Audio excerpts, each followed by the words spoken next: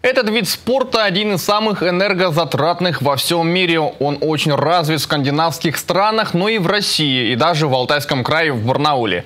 Флорбол. Что это за такой вид спорта и как он живет в Барнауле? Об этом сегодня поговорим в студии. У нас в гостях руководитель регионального отделения по флорболу Артем Моисеев. Артем, привет. Дмитрий, привет. Ну и чтобы зрители так немножко визуально да, познакомились с таким видом спорта, как флорбол, давай на пару мгновений да, кинем взоры на экран и посмотрим замечательное видео.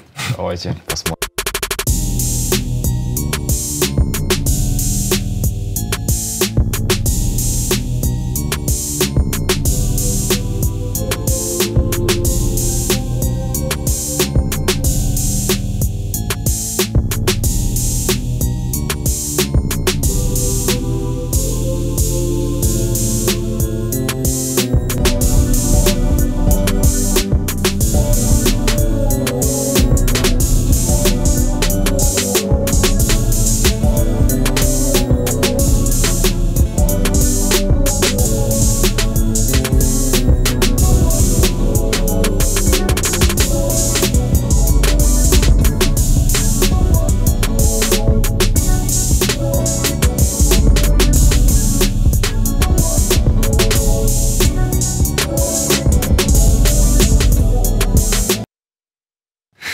Что обычно говорят от теории к практике, да, здесь от практики к теории. Посмотрели мы наглядно, что такое флорбол. Причем расскажи теперь, э, в чем суть этого вида спорта и как в него играть. А, вид спорта достаточно простой, то есть э, похож очень на хоккей. Это такая альтернатива для занятий хоккеем, но в зале. То есть очень практичный, э, физически тоже очень сильно затратный, ты правильно сказал в начале. А, чтобы начать заниматься, нужны шорты, футболка и кроссовки, ну и клюшка. То есть это, и, и бюджетный вариант еще. Да, достаточно бюджетный вариант и очень, э, кстати, что еще и очень мало травматичный. То есть вот мы э, занимаемся с 2009 года в Алтайском крае, то есть существуем. А, и вот за все это время ни у кого не было какой-то серьезной травмы, там, не дай бог, там, перелома или еще что-то. То угу. есть какие-то мелкие синяки, но не более того. Вот, то есть в 2009 году э, Дмитрий Эдуардович Внуков, это наш э, такой наставник, тренер главной нашей команды, он э, начал э, заниматься и развивать э, флорбол на Алтае. Вот, и до сих пор, то есть сейчас управление перешло ко мне, тогда я был еще молодой, вот, тоже, э, ну и сейчас не угасло вот это пламя любви к этому виду спорта, поэтому продолжаем заниматься, развиваться, вот, очень нам нравится, интересно это.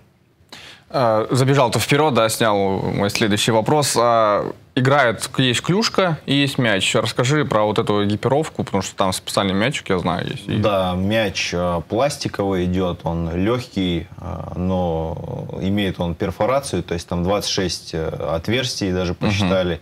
То есть это сделано не для того, чтобы мяч летел э, быстрее, то есть и проходил сквозь воздух.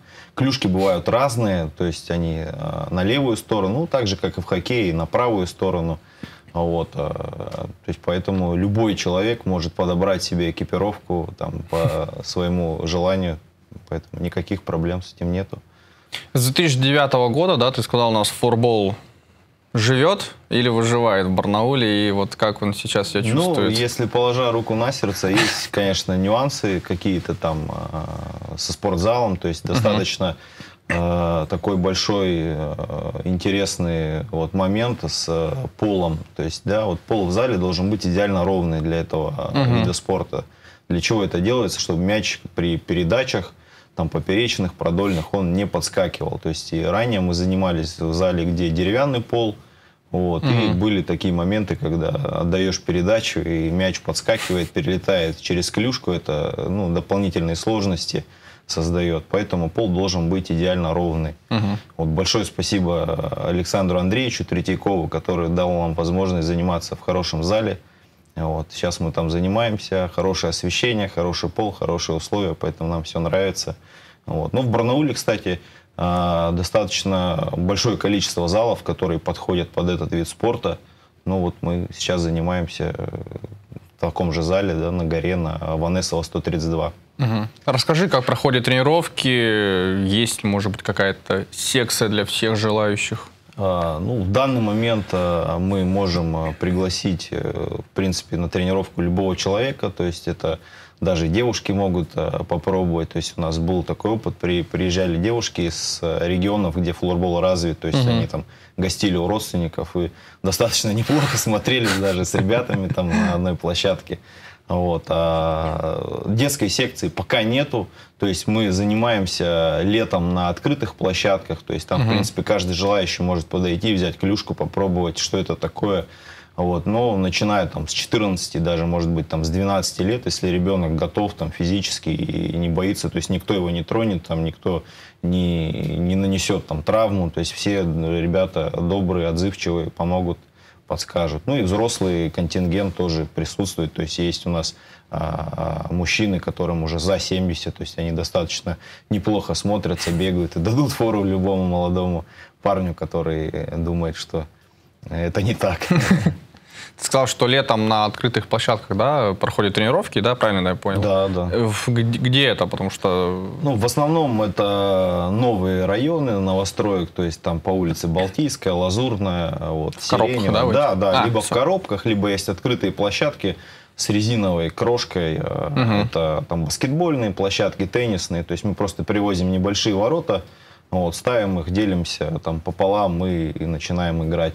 То есть рядом, а, там, как обычно, там есть пешеходные дорожки, люди идут, смотрят, подходят, интересуются, кто-то а, идет, переодевается из прохожих и пробует играть. То есть игра очень интересная, поэтому привлекает внимание. Вот мы хотим, чтобы больше, больше народу у нас собиралось, играло и занималось спортом. Что сейчас нужно сделать, чтобы флорбол в Барнауле жил, как и другие виды спорта, которые сейчас развиты, ну, чтобы открыть отделение? Ну, здесь, наверное, комплексный подход нужен и больше административного управления, какого-то рекламного проекта, да, чтобы угу. люди видели, приглашали. Вот э, ты меня пригласил сегодня в гости, это очень хороший такой для нас момент, хороший зацеп э, для людей, поэтому приглашаем всех. Э, массовость, она рождает потом уже конкуренцию, а конкуренция угу. уже перерастает там какой-то серьезный уровень. Вот, поэтому будем надеяться, что эта встреча наша с тобой не зря. А в Барнауле есть команда, да, которая выезжает на разные соревнования. Расскажи о этой команде, на какие соревнования выезжаете и какой результат? А, в Барнауле есть команда, а, я являюсь капитаном этой команды по совместительству. Выезжаем мы на соревнования, ну, в основном в ближайшие регионы – то есть э, это вот э, Омск, э, Новосибирск, Новокузнецк. Угу. То есть, ну вот вот эти регионы. Поэтому в Омске очень развит флорбол, благодаря тому, что в свое время в 2000-х годах получилось договориться с школами, что выделили ставку для учителя. И поэтому на уроке физкультуры в каждой школе Омска есть э, урок по флорболу. Поэтому это, круто. да, это очень круто, и у них э, более тысячи профессиональных флорболистов, именно взрослых. То есть у них есть две взрослые лиги, а несколько детских лиг, постоянно проходят турниры. То есть там ну, невероятные условия для этого созданы. То есть там город весь э, знает, что это такое, когда человек идет по городу с пластиковой клюшкой, то есть у прохожих не возникает вопроса, что это за предмет у него в руках. И как команда, какие результаты, что это были за турниры? Э, участвовали мы в отборочных соревнованиях, там, то есть это отборочный чемпионат России по флорболу. Занимали мы второе место после омской команды. Их, конечно, обыграть не удалось, но получили uh несомненно, такой богатый опыт. Вот, то есть там многие ребята играют в сборной России на чемпионатах мира. Ну, с ними э, конкурировать достаточно сложно, но вот, повторюсь, что опыт невероятный мы получили. Также вот э, были команды из Кузбасса, из Новосибирска, их нам удалось обыграть. То есть вышли мы в финальную часть э, соревнований, и финал должен был проходить в Новгороде. Это угу. было, по-моему, если не ошибаюсь, там 15 или 16 год. Но в Новгород мы не поехали по причине Э, недостаточного финансирования, поэтому все это за свой счет делается. Угу. Вот, ну и приняли решение не ехать. Вот, ну так бы постарались, поиграли. Зацепились бы? Зацепились бы, попробовали в любом случае. Ну, а в Новосибирске периодически проходят соревнования, тоже регионального масштаба. То есть вот буквально мы там э, на прошлой неделе ездили в Новосибирск, uh-huh. тоже поиграли, заняли второе место. Ну, там практически каждую неделю идут игры. Ну, и ребята охотно нас приглашают, э, так как, ну, все-таки команда с другого региона добавляет такой дополнительный интерес э, к играм. Угу. Есть команда. Сколько нужно времени, чтобы вот те, кто сейчас ходит к вам на тренировки, ну, попасть в команду и попробовать выехать на соревнования? Есть ли там какой-то регламент попадания, отбор, не отбор? В команду можно попасть э, в ближайшую среду, вот, попробовать э, прийти, попробовать поиграть. То есть мы выдаем весь инвентарь, там, за исключением одежды. Ну, это, я думаю, у каждого человека есть. Дай бог. Вот. А, ну, на соревнования, если есть желание, можно попробовать даже с начальным, с базовым каким-то уровнем. То есть ну, мы не гарантируем, что человек может всю игру там отыграть. Вот, но выйти бесспорно, то есть это любительские соревнования, любительский турнир, поэтому ну, никаких ограничений нет. Выйти, попробовать, показать себя, посмотреть на других. Почему нет?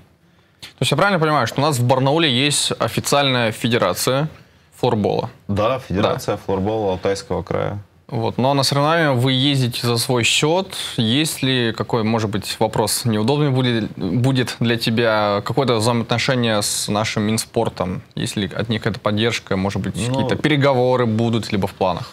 Да мы открыты к диалогу всегда. То есть, если какая-то нужна от нас помощь или нам нужна помощь, то есть мы готовы сесть за стол, пообщаться. То есть мы ну, часто а, выставляли оборудование на день города, то есть показывали uh-huh. зрителям, то есть как это выглядит. То есть там, вот, допустим, в педагогическом университете э, с Олегом Васильевичем Баянкиным, наверняка вы его знаете, тоже постоянно сотрудничаем. Вот, это, вот, ему огромный привет, тоже огромное спасибо, тоже нам помогает, и мы им помогаем. Есть там а, договоренность у нас а, с РЖД, то есть тоже ребята, мы с ними там совместно проводили тренировки. Они, кстати, тоже занимаются отдельно, у них ну, базовый такой уровень. Ну, тоже интересно а, с ними было поиграть, познакомиться, поэтому э, как бы контакты есть, но, конечно, мы готовы там общаться, готовы развиваться. Если какая-то помощь э, будет для нас, мы будем только рады. Угу. Знаю, что на тренировки по флорболу часто приходят и хоккеисты, да, что как и действующие, так и, ну, возможно, те, которые еще молоды, но почему-то не получилось. А, правда ли, что в флорбол приходят те, кто завершил карьеру хоккеиста, или наоборот это такое возрастание, чтобы прийти в хоккей через флорбол? По-разному. То есть у нас очень много людей, кто занимался хоккеем. Я сам занимался хоккеем. И Потом просто в какой-то момент увидел этот вид спорта и начал играть в него. И сейчас мы играем и в хоккей, и во флорбол. Поэтому это такие ну, два вида спорта, которые идут рядом. Вот, и, допустим, тоже взять сборную России по хоккею. Многие не знают, но они на летних тренировках на земле играют всегда во флорбол. Поэтому это, ну, может, крайне редко показывают, но это ну, есть, да. и я знаю это. И, и они заказывают клюшки, также покупают клюшки, играют. Вот, поэтому это отличная альтернатива для хоккеистов и действующих, да, то есть когда льда нет, летом там его топят, и там месяц-два можно, чтобы не забыть там, как э, работать руками, как работать клюшки, можно спокойно играть. На мировом уровне сборная России по футболу выступает и какие там на каком уровне вообще в мировой? Ну, индустрии? я считаю, что, конечно, есть там лидеры, несомненно, это Швеция, Финляндия, Швейцария, Германия. Там флорбол в 70-х годах уже начали развивать, то есть угу. он такое широкое распространение получил. У нас немного позже, там с 90-х годов э, команда начала существовать тоже там за счет сил энтузиастов. Ну, поэтому, ну, есть, конечно, какой-то разрыв, но такого там катастрофической какой-то разницы, там бездны ямы, ну, нету. То есть э, играют наши ребята и на чемпионатах мира, и на молодежных, и uh-huh. на юниорских, на взрослых, и девушки. То есть вот э, недавно буквально были чемпионаты мира и я смотрел, то есть уровень достаточно серьезный, поэтому есть, конечно, моменты какие-то, там может быть тренировочный процесс, где-то нужно перестроить, добавить тренировки, добавить условия. Опять же, все вот упирается в какие-то условия, наверное, угу. а, в массовость, то есть количество занимающихся. Поэтому, ну, я думаю, все впереди, все должно быть хорошо. Ну и нам есть к чему стремиться Конечно. все равно. На этом наше время, к большому сожалению, подошло к концу. Ведите здоровый образ жизни и открывайте для себя новые виды спорта.